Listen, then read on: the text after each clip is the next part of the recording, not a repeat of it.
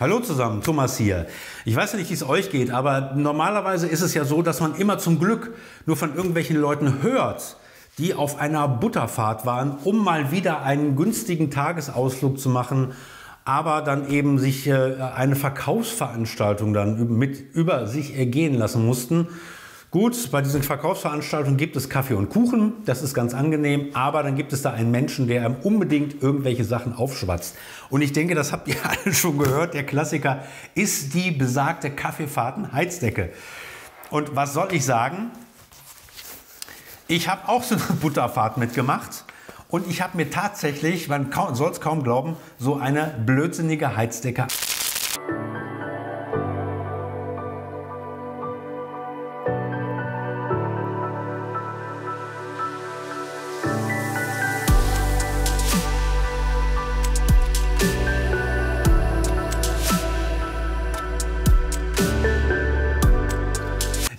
eine LED-Videoleuchte und die sieht sicherlich ein bisschen anders aus, als dass wir das gewohnt sind. Schon alleine, weil man sie biegen kann, weil man sie rollen kann. Als ich die Videoleuchte bekommen habe, in der Tasche, in der die mir geliefert wird, war die wirklich auf einer Papprolle gerollt und dementsprechend kann man sie eben auch sehr flexibel verwenden. Sie ist sehr kompakt verwendbar und hat sicherlich auch andere Einsatzgebiete, als man das von klassischen Lampen kennt. Ganz einfach, weil äh, man sie nicht unbedingt auf ein Lampenstativ stellen muss. Ich kann mir sehr gut vorstellen, dass ich sie auch gerade für meine gewerblichen Projekte gut benutzen kann, um vielleicht sie an irgendwas dran zu kleben, um sie schön von oben das Licht werfen zu lassen oder dass man sie an die Seite an irgendwas klebt, wo man wirklich nicht viel Platz hat, wo es wirklich eng ist, wo man Schwierigkeiten hat, das äh, Lampenstativ aufzustellen, dass man sie da einfach dann meinetwegen mit Gaffertape einfach irgendwo gegenklebt und dann mal eben das Licht von der Seite hat und das Ganze eben auch sehr platzsparend. Und die Firma Linkstar hat mir diese Leuchte vor etwa sechs Wochen zur Verfügung gestellt, kostenfrei zur Verfügung gestellt, damit ich sie testen und ausprobieren kann. Und ich habe das in den letzten sechs Wochen auch schon gut nutzen können, denn die Videos, die ihr in den letzten Wochen von mir gesehen habt, die ich hier in meinem YouTube-Setup gemacht habe, die, da habe ich die Lampe auch benutzt und habe dann nur mit dieser einen Lampe das Ganze hier so ausgeleuchtet, wie ich das gerne auch mit den anderen Lampen bisher gemacht habe. Da habe ich dann zwei oder drei andere Lampen für verwendet und habe sie schlicht und ergreifend einfach gegen die Decke geworfen, beziehungsweise die Lampe nicht gegen die Decke geworfen, sondern das Licht gegen die Decke geworfen, gegen die Decke gerichtet, sodass ich dann einmal ein blendfreies Licht habe, dass ich ein möglichst schattenfreies Licht habe, dass also die Elemente, die hinter mir stehen, dass sie möglichst keinen oder nur einen ganz dezenten Schatten werfen und dass ich auch eine Färbtemperatur habe, die möglichst ähm, verlässlich ist, dass also auch die, das Zusammenspiel LED-Leuchte mit 5500 Kelvin in dem Fall und der Einstellung meiner Kamera auch mit 5500 Kelvin möglichst gut passt und ich dann nicht im Color Grading später noch ein bisschen nachfummeln muss. Und neben der flexiblen oder neben dem flexiblen Einsatz, ein paar Beispiele habe ich ja gerade genannt, ist die, Licht, ist die LED-Leuchte auch sehr schön klassisch als Leuchte verwendbar, indem man sie beispielsweise zu einer Softbox auf Schrägstrich umbaut. Na, um, auf, umbaut ist vielleicht nicht richtig, aber aufbaut. Dazu gibt es auch das Material, was in der Tasche ist, der Transporttasche, die mitgeliefert wird. Und wie das aussieht mit der Variante als Softbox, das zeige ich euch, nachdem ich nämlich hier die LED-Leuchte als Softbox aufgebaut habe. Und so sieht die Linkstar LED Videoleuchte aus, wenn man sie zu einer Softbox aufgebaut hat. Ich habe das gemacht hier mit diesem klappbaren Rahmen, der sich dann, ich drehe das gerade mal um, äh, bevor wir da weiter darauf eingehen, der sich mit diesem Metallrahmen, der beiliegt, schön gerade und plan spannen lässt. Und dann findet auch der, ähm, dieser, dieser Rahmen hier, findet dann auch schön Halt an den ähm, an den Klettverschlüssen, die hinten dran sind. Das lässt sich dann also sehr schön dran kletten, zumal diese Klettverschlüsse wirklich sehr stark sind, also sehr halten. Und ich mir dann auch sehr gut vorstellen kann, dass man das wirklich sehr oft auf und wieder abbauen kann ähm, äh, bevor dann diese Klettverschlüsse irgendwann ihren Geist aufgeben, denn die sind natürlich auch gewissen, einem gewissen Verschleiß unterworfen. Aber die Dinge sind wirklich so stark, dass man wirklich beim Abbauen schon richtig viel Kraft aufwenden muss, um die ganze Geschichte wieder auseinanderzubringen. So, und wie gesagt, das ist jetzt ähm, das Softbox-Setup. Da der Hinweis, es gibt diese LED-Linkstar-Leuchte, gibt es in zwei Ausführungen. Eine ist die eine, die nennt sich dann LED Flexlight und die hat dann eben nicht diese Soft, dieses Softbox Setup mit dem Rahmen, der Diffuserfolie. Und was auch noch dabei liegt, ist hier eine Wabe, sodass ihr also auch eine Lichtwabe daraus machen könnt, um das Licht dann noch ein bisschen gerichteter zu machen und dass das nicht so ganz stark streut. Wenn ihr euch mit dem Thema Studiobeleuchtung Beleuchten aus, äh, beschäftigt, dann muss ich euch da nichts erzählen, dann wisst ihr das. Und das wird so gemacht, dass hier, ich drehe das mal ein bisschen rum, hier ist ein sehr breiter ähm, Klettverschlussrahmen, sodass, und ihr könnt das sehen, man einmal die Diffuserfolie wunderbar reinkriegt, aber noch genügend Platz ist, um auch hier den, die Klettverschlüsse, den Klett, das Klettband ergänzend noch hier auch noch drauf zu machen, sodass man also beide wunderbar reinbekommt. Und ich nehme es einfach mal raus, damit ihr seht, wie das Ganze aussieht. Wenn man die ganze Geschichte aufgespannt hat, dann zieht man das hier einfach wieder ab, beziehungsweise man macht das vorher rein. Und dann hat man die ganze Geschichte dann eben in der Form. Dann seht ihr dann, dann wie das aufgespannt aussieht. Und ich drehe das Ganze jetzt mal um, denn da gehört ja noch ein bisschen was dazu. Einmal natürlich generell der Stromanschluss. Ähm, hier der AC-Adapter und das Schöne bei der ganzen Geschichte ist, die Kabel sind sehr lang. Äh, ich habe das zwar jetzt nicht ausgemessen, aber ich glaube im Gesamt mit der Kabellänge, wenn man jetzt auch hier noch das Steuergerät, was dabei ist, auch noch auf den Boden legt und nicht hier an die äh, äh an, den Stativ, an das Leuchtenstativ dranhängt, kommt man locker auf vier, viereinhalb Meter vielleicht und dann braucht man nicht unbedingt gleich ein Verlängerungskabel, denn ich habe die Erfahrung gemacht, zumindest bei den preiswerteren Leuchten sind die Strippen doch oft sehr kurz, sodass ich da immer wieder ein, äh, ein Verlängerungskabel brauche, was dann irgendwie dann ergänzend dann auch eine Stolperfalle ist. Ja, dieses Steuergerät, ähm, womit man dann letztendlich die Lampe einschaltet, einstellt, kann man entweder hier dranhängen, ihr habt das gerade gesehen, das hat durchaus einen Vorteil, wenn ihr Lampenstative habt, ähm, die nicht ganz so stabil sind und wo es dann vielleicht hier mit der Leuchte, obwohl die natürlich sehr leicht ist, ein leichtes Übergewicht geben kann, dann bildet hier das Steuergerät natürlich noch ein schönes Gegengewicht und stabilisiert dann die ganze Konstruktion. Ansonsten, was man natürlich hier machen kann, einmal kann man natürlich das Ding ein- und ausschalten. Ergänzend, das seht ihr hier, das liegt jetzt auch in dem äh, Koffer, wo die ganzen Sachen drin waren, kann man hier noch eine Antenne draufschrauben, denn es gibt zusätzlich käuflich zu erwerben noch eine Fernsteuerung, sodass man die Lampe dann auch per Fernsteuerung sowas hier dann fernsteuern kann, wenngleich das jetzt nicht die Fernsteuerung ist für die für die Linkstar, sondern für die Lampen, die mich jetzt gerade ähm, ausleuchten. Und ähm, ergänzend natürlich haben wir dann hier den Adapter für den Stromanschluss. Und was man hinten noch dran machen kann, ist, wenn man also keine Möglichkeit hat, da wo man die Videoleuchte benutzt, keinen direkten Strom aus der Steckdose zu bekommen, dann kann man hier über diesen V-Adapter kann man unter anderem die entsprechenden passenden Sony-Akkus da dran setzen. Das ganze Ding ist relativ groß, ihr seht das, ist ein bisschen klobig, hätte ich jetzt mal ein bisschen kleiner gewünscht, aber ich bin jetzt kein Elektroniker, ich kann jetzt nicht sagen, ob man das wirklich hätte kleiner machen können. Wenn ich hier durchgucke, da sind Lüftungsschlitze drin, dann ist auf jeden Fall, sieht so aus, als wenn die Platine, die hier drin ist, auf jeden Fall den gesamten Raum, die gesamte Länge einnimmt. Gut, muss man natürlich so hinnehmen und ist jetzt zwar nicht an, aber was ihr auf jeden Fall hier jetzt machen könnt, das sind, ihr könnt hier zwei wesentliche Dinge an der Lampe einstellen. Einmal die Leuchtstärke und zwar ist die Lampe dimmbar von 0 aus auf maximale Leuchtstärke auf 100 Prozent und das entspricht dann einer Leuchtstärke von 68 Watt. Ich habe jetzt keine Ahnung, was das in Lux oder Lumen ist, wer sich da auskennt. Auf jeden Fall, wir gucken uns das gleich noch ein bisschen genauer an. Die Lampe ist schon schön hell. Und das zweite, was man hier einstellen kann, ist die Farbtemperatur, denn Ihr könnt die äh, Farbtemperatur äh, variieren zwischen 3000 Kelvin und 5600 Kelvin, denn das ist eine Bicolor-Leuchte, die also warmtonige LEDs hat, als auch kaltweiße LEDs, die dann über das Variieren der Farbtemperatur dann entsprechend miteinander abgemischt werden. Damit ihr einen möglichst realistischen Eindruck davon bekommt, was kann denn der Linkstar wirklich liefern an Licht?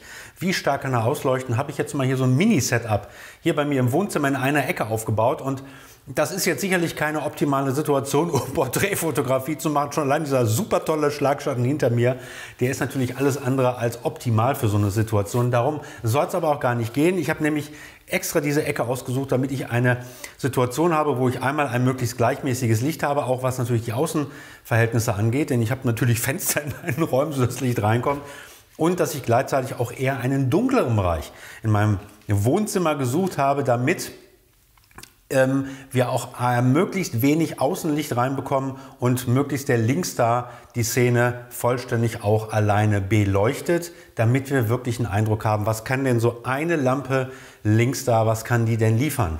Und was ganz wichtig ist, ähm, ist natürlich auch das Setup, das ich aufgebaut habe, insbesondere auch die Kameraeinstellungen. Weil deswegen ähm, erstmal die Angaben zum Kamerasetup. Ich habe meine Lumix GA5, die mich jetzt filmt, habe ich auf die native Sensorauflösung ähm, eingestellt, nicht Sensorauflösung, auf die native Sensorempfindlichkeit und das sind bei der Lumix sind das ISO 200. Ergänzend filme ich mich jetzt mit dem Olympus 25 mm Normalobjektiv mit einer Anfangsblende 1.8 und ich habe jetzt die Blende auf 2,2 eingestellt, sodass ihr also jetzt da schon mal so die Eckdaten kennt. Die Kamera, die mich jetzt filmt, ist ungefähr zweieinhalb, drei Meter von mir entfernt und jetzt so diagonal strahlt mich der links da an. Der ist jetzt auf einer Entfernung von gut anderthalb, knapp zwei Metern. Ähm, und ich habe jetzt ergänzend auch die Softbox-Variante eingestellt die also ein bisschen Licht schluckt, damit das ganze Licht ein bisschen diffuser und ein bisschen weicher wird. Und aktuell habe ich Einstellungen generell von 5500 Kelvin, weil ich die Kamera grundsätzlich auch für diese Farbtemperatur eingestellt habe, damit das dann eben auch passt und man später bei Bedarf nicht im Color Grading in der äh, Videoschnittsoftware dann noch jedes Mal an der Farbtemperatur rumfummeln muss wenn man es denn überhaupt möchte. Und aktuell als Ausgangswert für die Beleuchtungssituation, die ihr jetzt seht, habe ich eine ähm, Belichtungsintensität von 25 Prozent eingestellt. Jetzt regle ich mal die Lampe komplett auf Null, damit ihr seht, wie ist denn die Lichtsituation in dieser besagten dunkleren Ecke ohne ergänzendes Kunstlicht. So sieht die ganze Sache also aus mit dem Tageslicht, was jetzt hier in die Ecke scheint. Relativ, relativ trüber Tag heute. Es schneit auch aktuell draußen, sodass also von außen ein sehr vergleichsweise dunkles Licht für eine Tageszeit von etwa 11 Uhr jetzt hier reinkommt. So, gehen wir nochmal auf die 25 Prozent, die ich jetzt gerade hatte. Also das ist jetzt die Ausgangssituation. Jetzt gehe ich mit euch mal in ein paar 15er Schritten höher. Das sind also jetzt 40 Prozent Licht und das ist jetzt für mich eine Situation, auch durch den Abstand hier zu der zu dem Linkstar in der Softbox-Variante. Jetzt fängt es für mich schon an leicht zu blenden. Ich denke, ihr könnt es auch hier hinten an der Wand sehen, dass die schon anfängt sehr hell zu werden. Und wenn ich gleichzeitig mir das Histogramm angucke, auf dem Display der Lumix, das rutscht jetzt schon ziemlich schön weit nach rechts. Und ich gehe jetzt mal auf 60 Prozent. Jetzt haben wir also 60 Prozent eingestellt. Klar, ist heller geworden. Das alles andere sollte einem auch dann zu, bedenken, äh, zu denken geben. Und jetzt ähm, gehen wir mal auf Maximum. Das sind jetzt 100% mit dem Linkstar. Wie gesagt, einzige Lampe, die mich anleuchtet, ist viel zu hell. Wenn ich jetzt wirklich ein Fotoshooting machen würde, dann müsste das Model oder müsste auf jeden Fall sehr stark blinzeln. Das könnte man komplett vergessen. Also ihr könnt sehen, also mit den 68 Watt, die der Linkstar als maximale Leistung liefert, geht auf jeden Fall schon eine ganze Menge. Und zum Zweiten würde man sicherlich auch nicht nur mit einer Lampe arbeiten, sondern mehreren. Und dann hätte man auf jeden Fall ordentlich Lichtreserve. Das ist jetzt kein Fahndungsfoto, sondern ich habe ergänzend meinen X-Rite Color Checker ausgepackt mit der Graukarte. Denn neben der Lichtausbeute, der Lichtintensität von so einer Lampe ist es natürlich sehr wichtig, wie, wie, verhält es sich mit der Farbreinheit der Farbtemperatur, die so eine Lampe liefert oder in dem Fall sogar der verschiedenen Farbtemperaturen? Wie genau ist es denn tatsächlich? Und deswegen gucken wir uns das Ganze jetzt mal in DaVinci Resolve an. Das ist jetzt der Clip, den ihr eben gerade gesehen habt, in der vollständig unbeeinflussten Version in DaVinci Resolve, so wie er eben von der Kamera aufgenommen wurde. Und die Firma Linkstar gibt an, dass die Lampe hier der RX11TD, dass der einen Color Rendering Index von 94% hat. Das ist an sich ein extrem guter Wert. Wenn ihr euch mit dem Thema Farbwiedergabe, Farbqualität schon beschäftigt habt, dann kennt ihr diesen Color Rendering Index. Trotzdem mache ich das hier nochmal für alle von euch, die das noch nicht kennen, auf. Und der CRI-Wert, jetzt in dem Fall für LED-Lampen, gibt die Farbwiedergabe einer künstlichen Licht Lichtquelle verglichen mit dem Sonnenlicht an. Also wie gut ist die Lichtquelle, die künstliche, in der Lage, das natürliche Sonnenlicht zu imitieren und da eben auch die Farbdarstellung. Und darum soll es ja in dem Fall hier auch gehen. Und ob das wirklich stimmt, das können wir relativ leicht mit dem Weißabgleich hier in DaVinci Resolve ausprobieren.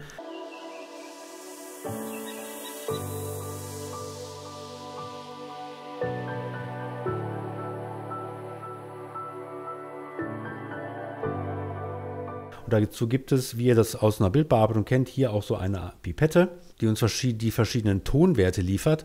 Und was ihr jetzt schon sehen könnt anhand der Farbwerte, die hier ausgegeben werden für den Rot-, Grün- und Blaukanal, im Idealfall wären die vollkommen identisch. Sie weichen hier in dem Fall minimal voneinander ab. Also ein Tonwert von 141 für Rot, 137 für Grün und 138 für Blau. Das zeigt an, dass wirklich die Farbqualität gut ist. Und wenn ich jetzt, oder bevor ich jetzt gleich mit der Pipette hier reinklicke, guckt auf jeden Fall hier auf diese Scopes, auf diese Farbdarstellung für den Rot-, Grün- und Blaukanal. Und ich klicke da jetzt mal rein. Achtet mal rechts, was passiert. Fast nichts. Ihr habt gerade gesehen, Rot und Grün wurden leicht gegeneinander verschoben. Rot wurde ein bisschen abgesenkt, Grün ein bisschen angehoben. Und wenn ich das richtig gesehen habe, hat sich bei Blau so gut wie gar nichts getan. Ich schalte das jetzt nochmal aus. Ja, also hat sich so gut bei Blau bleibt vollkommen stabil und allenfalls Rot und Grün weichen minimal voneinander ab und das ist dann tatsächlich der, na ich sage mal, der Beweis an der Stelle, dass der Links da wirklich eine hohe Farbtreue, eine sehr gute Farbwiedergabe hat. Für mich ist das wirklich ein absoluter Tipp, diese, so, diese, diese ähm, LED-Videoleuchte in dieser Mattenform, einfach weil das ganze Ding wirklich sehr variabel ist, sehr kompakt transportierbar ist. Wenn wir mal von diesem doch etwas klobigen ähm, Stromadapter absehen, beziehungsweise eben auch dem, dem Steuerungsgerät, das ja doch sehr groß ist und das dann so ein bisschen die Flexibilität einschränkt, aber was die Verfügbarkeit oder Verwendbarkeit der äh, Leuchte hier angeht, ähm, ist es auf jeden Fall schränkt, schränkt es das auf keinen Fall ein. Die Lampe bleibt natürlich an sich sehr gut und sehr flexibel verwendbar. Insofern kann ich, falls ihr auch nach so einer größeren, helleren Leuchte sucht, mit der ihr vielleicht, die vielleicht so als Hauptlicht dient oder vielleicht als einzige Lichtquelle, kann ich die tatsächlich guten Gewissens empfehlen. Und das sage ich nicht, weil mir die Firma das umsonst hier zugeschickt hat, sondern das ist tatsächlich meine Erfahrung der letzten fünf, sechs Wochen, seitdem ich die hier im Einsatz habe. Trotz aller sage ich mal, durchaus ähm, Begeisterung von, für diese LED-Videoleuchte. Gibt es aber doch so ein paar, keine großen, keine großen, keine großen Showstopper, aber doch so ein paar ähm, Sachen, die mich so ein bisschen gestört haben. Und das ist einmal, ich habe es gerade jetzt schon angesprochen, ist einfach dieses doch sehr klobige Steuerungsgerät, was irgendwie dann manchmal doch einfach im Weg ist. Ähm, das zweite ist, dass dieses Kreuz zum Aufspannen, damit man dann eben die auch als komplette Videoleuchte nutzen kann und dann auch eine richtige Softbox drauf machen kann, um das Kreuz hinten reinzubringen, das ist doch ein bisschen fummelig einzubringen, sei mal möglicherweise auch eben der Flexibilität geschuldet, denn es lässt sich natürlich dann, wenn man das ganze Setup wieder abbaut, sehr kompakt verstauen und hat dann also nicht so ein sperriges Metallkreuz, kann es schön zusammenlegen. Allerdings muss ich sagen, auch bei dem Zusammenlegen habe ich so meine Schwierigkeiten gehabt, das wirklich genau wieder in den Ursprungszustand zu bekommen, denn momentan liegen bei mir die Kreuzelemente so alle hakelig übereinander. Und da sind wir, bin ich schon beim dritten Punkt. Es gibt schlicht und ergreifend, zumindest bis zu dem Zeitpunkt, wo ich jetzt die Leute verwendet habe, gibt es keine Anleitung für die Leute. Erstmal liegt keine bei. Ich habe auch im Internet keine gefunden. Und ich hatte, als ich die Lampe bekommen hatte, ganz am Anfang beim Hersteller angefragt, ob er mir denn, wenn verfügbar, eine Bedienungseinleitung dafür schicken kann. Und sei es nur für die mechanischen Teile. Elektrisch muss ich ja nichts machen, das Ding schließt du an und dann funktioniert die schlicht und ergreifend. Und dann haben die mir eine ähm, haben die mir was abfotografiert. Da find, ist aber auch nicht mehr drin, Schrägstrich nicht mehr drauf, als das, was man beispielsweise beim Amazon, bei Amazon, wenn man die ganze Geschichte kauft, an technischen Informationen findet. Also das wäre wirklich sehr schön, wenn es da eine Bedienanleitung gäbe, die einem die nötigsten und wesentlichen Dinge erklärt, die man erklärt haben möchte. Das wäre vielleicht nochmal so eine Anregung für den Hersteller, dass man eine Bedienungsanleitung beilegt oder als PDF zum Runterladen. Das sind auch so, wie gesagt, die einzigen Dinge. Letztendlich kriegt man es ja dann doch raus, so ein bisschen nach Jugend forscht.